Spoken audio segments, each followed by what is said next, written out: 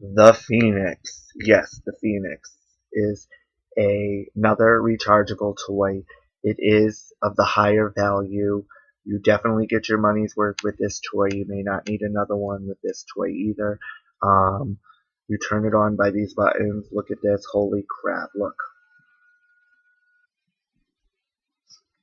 It is insertable. It is waterproof. This will tap on your clit. Um, it's also amazing for anal play. It'll stimulate the anal without going all the way up there, you know, because you have to have a flared base to use anything in your anus because it will suck up like the ATM bank machine that you put your check in on Friday and it goes.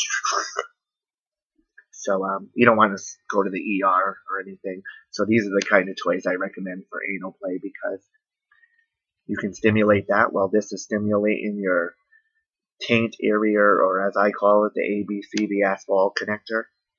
Um, and it's quite powerful.